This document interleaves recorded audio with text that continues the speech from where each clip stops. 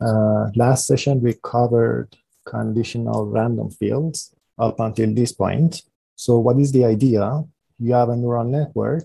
Let's say this is fully convolutional network, and it's doing per pixel classification. So it's, it's gonna give you, for this particular pixel, there is this chance that this is a background. For this uh, same pixel, there is this chance that it's a it's an airplane, etc.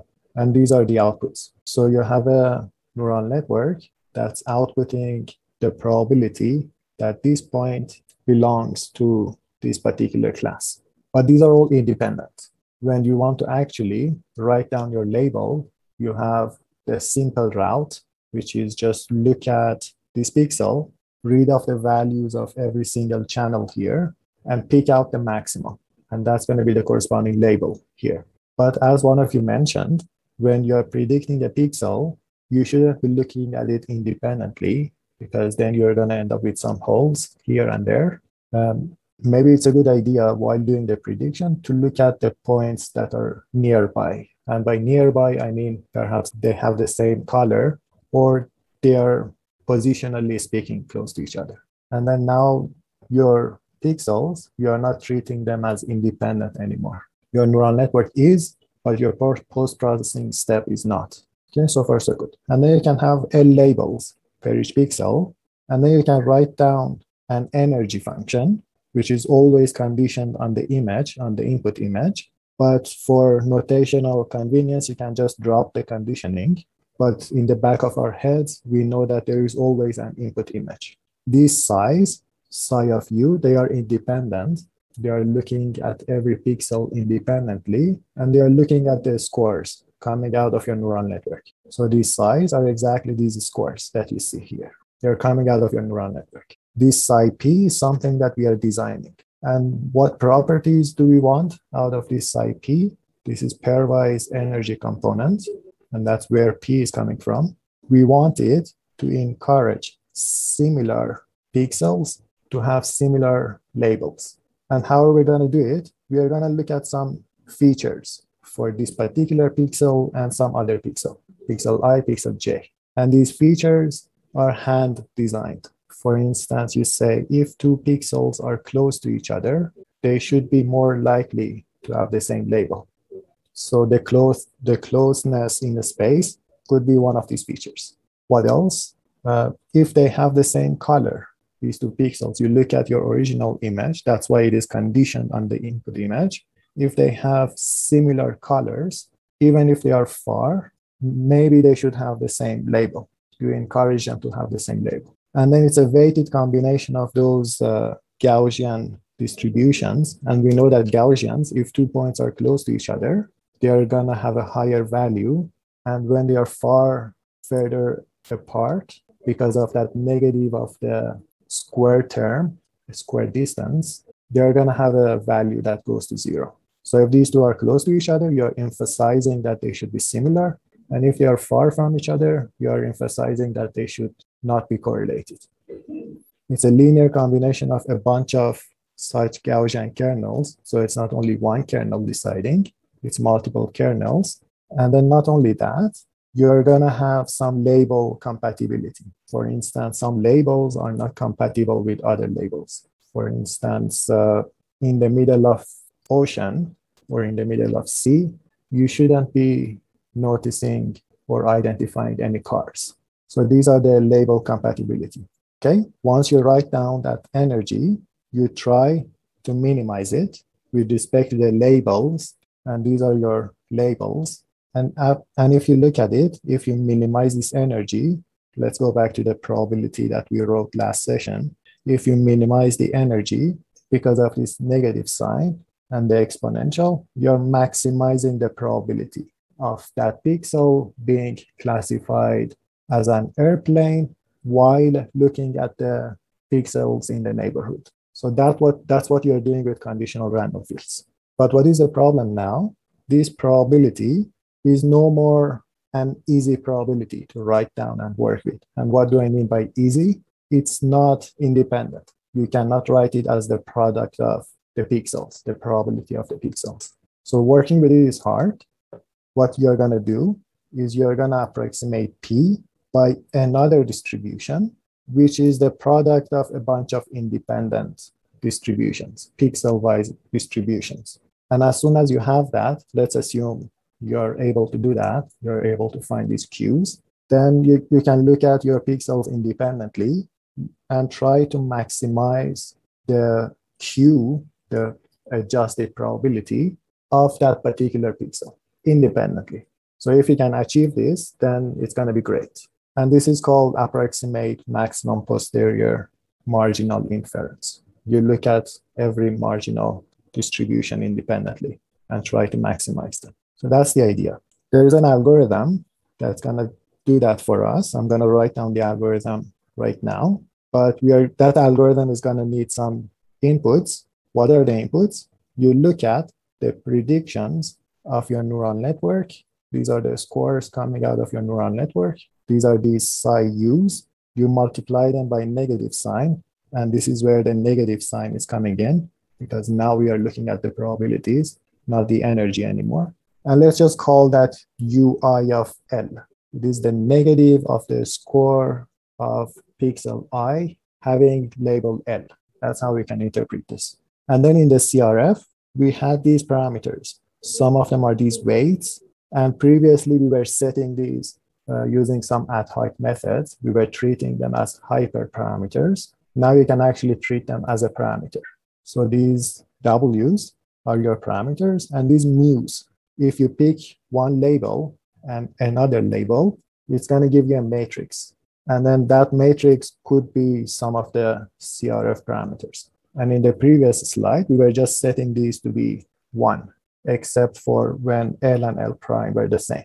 But now we can actually train on them. And don't worry about these five iterations in training and 10 in testing. I'm going to come back to this. This is the algorithm. The input to the algorithm are these scores that are coming out of your neural networks. So these are the negative of the scores. And because these are a bunch of scores, you can push them through a softmax, which is the exponential normalized. And those are going to give you some probabilities, some Qs. And these are not yet approximating your Ps. These are very bad approximations still, because these are all independent. This is as if you're dropping this there. So this is a bad approximation initially, but then you're going to do some iterations to make these Qs better and better. We can do five iterations in training and 10 iterations in testing. So this while not converged is actually a for loop. Do this five times, do this 10 times. And there are actually guarantees that this algorithm converges to the true P given enough iterations. Okay, now you're going to take these Qs for every single pixel in your space. You know the corresponding Qs.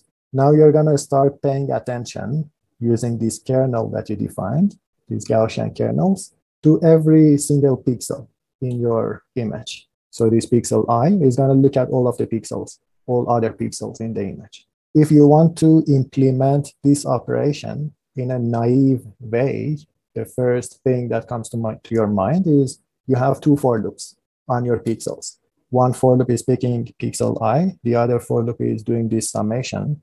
So you have two for loops, and the cost of doing that is going to end up being order your pixels squared. So it's going to be order n, n is the number of pixels squared. There are some smart people who can actually compute the same term in order n time. And that's called uh, permutohedral lattice implementation. So it's a smart implementation. It has nothing to do with deep learning. It is actually from the message passing literature. So you can implement that fast. The rest of them are these W's being multiplied by these Q tildes with a summation. You can actually interpret that as a one by one convolution. What else? Then you need these mu's getting multiplied by these q hats. There is a summation over your labels also. You can interpret that as yet another one by one convolution. Then there is this uh, unary subtraction, which you're going to subtract uh, q from u. And u, remember, are coming out of your neural network. And q hat, you just computed it using a one by one convolution. Now these are going to be scores. To turn them into probabilities, you're going to push that through another softmax to normalize them to probabilities. So that's the algorithm. And after a couple of iterations, you are getting better and better and at approximating your probability, which is paying attention to every single pixel on your image. We can actually implement that using a recurrent neural network. It's a specialized recurrent neural network, but it has this recursive fashion. U goes in. Why do you need it? Because you need to subtract something from it. Q from the previous iteration is going to go in. So this Q is going to go up there again and then get reprocessed. So Q is going to go in and your image is going to go in. You do some message passing, which is this operation here. You can do it in order of your pixels time. So it's as good as a convolution. You are going to do some reweighting, multiplying by W's, which is a one by one convolution. You make sure that they're compatible. Another one by one convolution. This unary operation is just subtraction. We can think of it as a shortcut, similar to ResNet. And then you normalize. You push it through a softmax. And then you repeat. Q out is going to go back as Q in for the next iteration. And then you iterate five times during training and 10 times when you're actually doing your inference. So you can interpret CRF as a recurrent neural network. And you're going to get some very impressive results. Even your ground truth is not detecting these points as backgrounds, but your CRF is doing. So before I finish, this RNN on top and these parameters specifically are going to end up being the parameters of your RNN. We can write on a loss based on the outcome. So basically, you have your convolutional neural network that's giving you these pixels, that's giving you these U's. You take that, you push it through your uh, recurrent neural network a couple of times, and then you write down this loss function, and you can optimize over these parameters, these weights and the compatibility weights. Or like what we were doing last session, you can treat these as hyperparameters, use your intuition, maybe set all of these to be ones, and these guys, you set them based on your intuition and multiple trial and errors, and then uh, just use it as a post-processing step. I think I'm gonna stop here for questions before we go to the next topic. So are there any questions? Was everything clear? So there is a good question in the chat. What are the metrics to evaluate the segmentation task. And this we covered in the first paper. So pixel accuracy, mean accuracy, mean intersection over union, and frequency weighted intersection over union. Does that answer your question? Okay. Any other ones? And your question is actually relevant because your ground truth is not perfect.